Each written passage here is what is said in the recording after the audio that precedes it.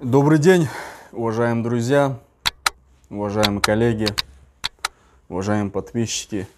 Давно не уходил в эфир и не записывал видео, так как некогда было в работе, то суды, то еще что-нибудь.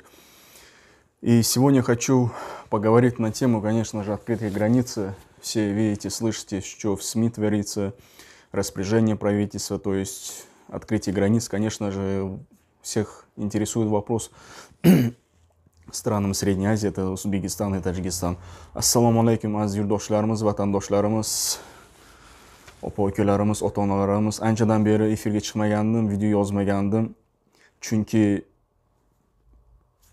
chegaralar ochilish nima masalasida dokumentlarni, hujjatlarni o'rganib chiqdik. Dedi dedi gapirmasdan hammasini ko'rib, qanaqa juda ko'p savollar bo'ldi. Hozir bugun mana kecha o'sha 31 martdan 814-yil 800 nechinchi qarori chiqqan hukumat qarorini o'shani bugun aytib o'taman aziz do'stlar juda ko'p savollar bo'lyapti kim kela oladi kim kela olmaydi уважаемые друзья гигантское очень много вопросов поступило насчет по поводу открытия границы. Все знаем, что ранее были открытия с другими государствами, также последние, по-моему, Узбекистан, э, Азербайджан, Армения, границы открывали. И сейчас вопрос стоит в другом. Все ли могут заехать на территорию Российской Федерации? Какие граждане, основания, без основания, могут ли заезжать или нет? Вопрос, который интересует.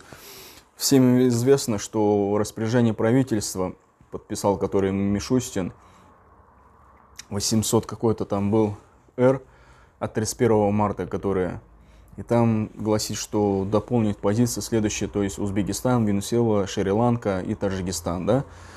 И вопрос стоит, какие граждане могут заезжать, то есть основания, без основания, какими могут заезжать. Уважаемые друзья, то есть я изучил, посмотрел, какие полностью, также прочитал все.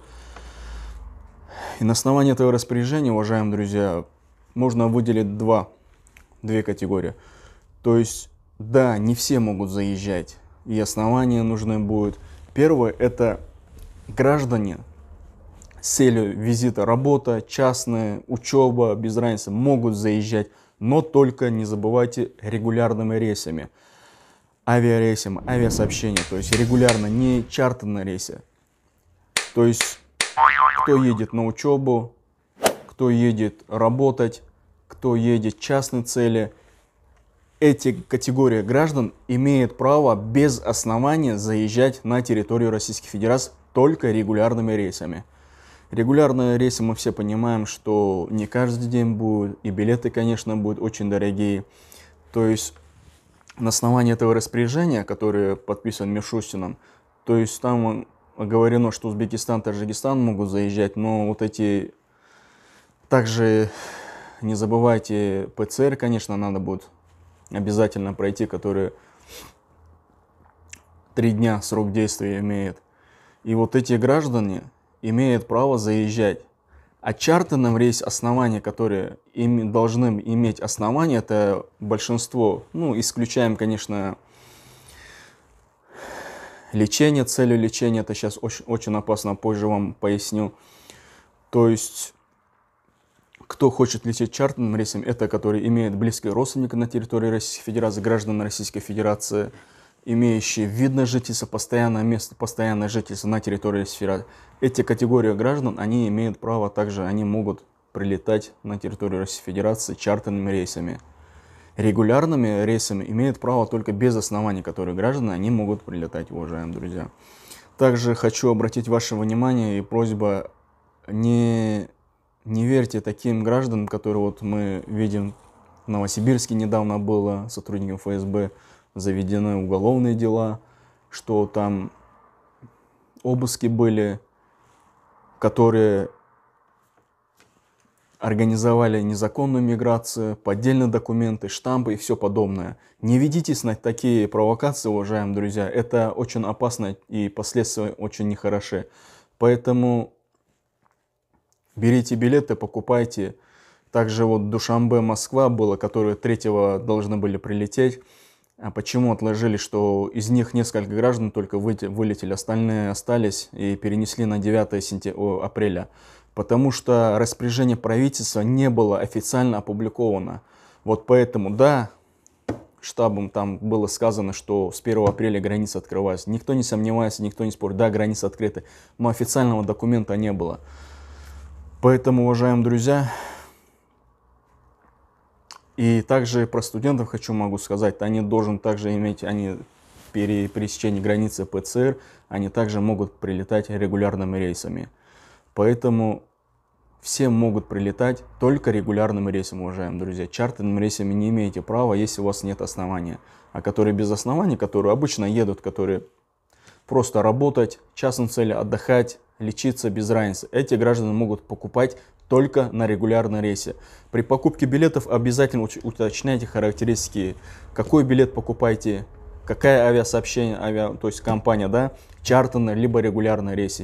Поэтому будьте внимательны, уважаемые друзья. Также хочу сказать, не путайте. Многие вопросы задают, что если граница открыта, это типа амнистия. Нет, уважаемые друзья, это просто открытие границы. Это не амнистия.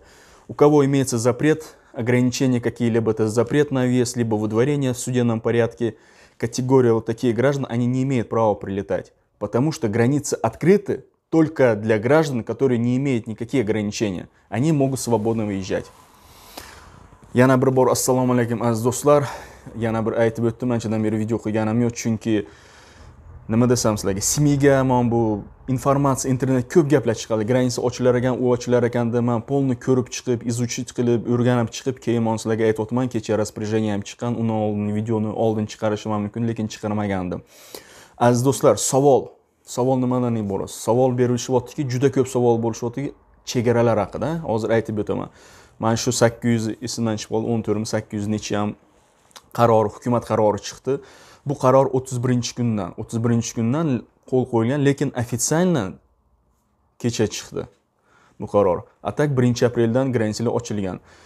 Nima uchun mana hozir dushanba moskva bo'lganda 3 aprel kuni 254 odamdan bir 5-6 odam uchdi chunki ularni asosi bor edi.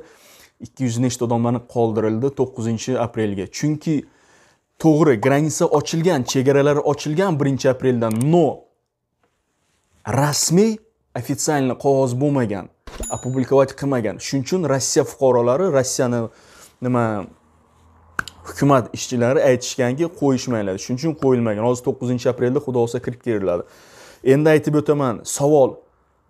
Said aka hamma kira oladimi chegaraga hamma rossiyaga bora oladimi yo'qmi deyotgan ikkita varianti bor aziz do'stlar. Doimiy reys bor birinchisi. Ikkinchisi charterni reys bor.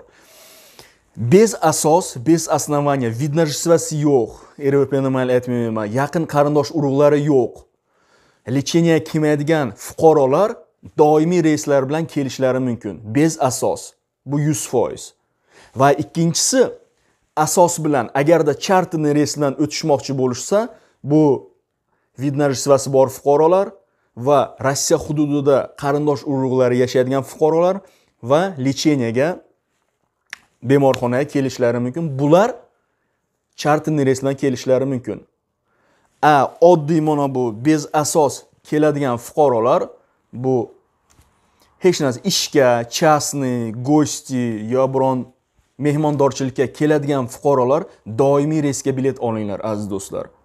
Bilet olayotganda обязательно so'ranglar charterniy reys kerak emas bunaqalarga bez asos kelamiz desanglar faqat doimiy reysga doimiy reyslar hozir qo'yildi xudo xohlasa bir haftaga bir marta qo'yiladigan bo'ladi. Bu degani между nima договариваться qiladi bular. Rossiya fuqarosi bilan tojikiston o'zbekiston aviakompaniyalar hozircha bitta reys qo'yib turadi. Keyin agar hammasi yaxshi ketsa ikkita reys qo'yadi uchta reysga qo'yib xudo xohlasa yaxshi bo'lib ketadi. Va bilet narxlari ham sekin sekin tushib ketadi.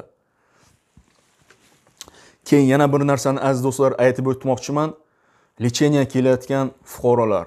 Sizlardan iltimos. Ishonmanglar pulga sotib olmanglar. Mana novosibir shahrida fsblar boshqalar obis qilib organizatsiya незаконной migratsiya noqonuniy migratsiyalarni organizovat qilgan nima shaxslar uchun fuqarolar uchun hozir jinoyat ishini ochilgan. Ehtiyot bo'linglar. Ishonmanglar. O'zinglar bilasizlar. Sizlar o'zinglar bilib shu narsani biletni sotib olasizlar. Shu narsani o'zinglar bilib lecheniya kelmasdan spravkalarni sotib olasizlar. Lekin rossiya hududiga kirganlardan keyin sizlar дальнейший последствияni ham o'ylash kerak. Chunki sizlarni действиялаringda bu подделка dokumentov bo'ladi. Sizlarga qilib bergan insonlarga jinoyat ishini ochiladi. Ehtiyot bo'linglar. Mana xudo o'zi granitsalar ochildi chegaralar ochildi. Bemalol kirib kelib ishlayverasizlar.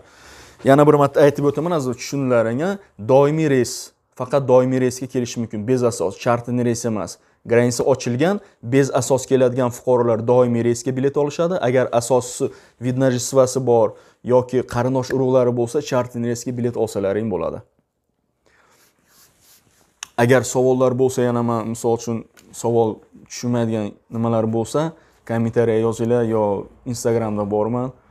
Qo'ldan kelgancha iloji boricha javob beraman. Vaqtim yo'q edi sudga boramiz yoqqa boramiz. Shuning uchun vaqtim bo'lmay efirda ham qilolganim yo'q. Xudo xohlasa mana primo efirga ham chiqamiz. Agarda tushunmaydigan savollar bo'lsa savollarga javob beramiz aziz do'stlar. Agarda yana yangilik bo'lib qolsa chegaralar haqida обязательно albatta video qilib videoni chiqaramiz. Sizlarga aziz do'stlar sog'lik tilayman salomatlik tilayman. Hamisha baxtli bo'linglar sog' bo'linglar o'zlaringni asranglar Уважаемые друзья, на этом все. Если будут какие-то либо еще новости, обязательно видим, выйдем в эфир, расскажем, что как было. Берегите себя, своих близких. Будьте здоровы, уважаемые друзья. Всем пока.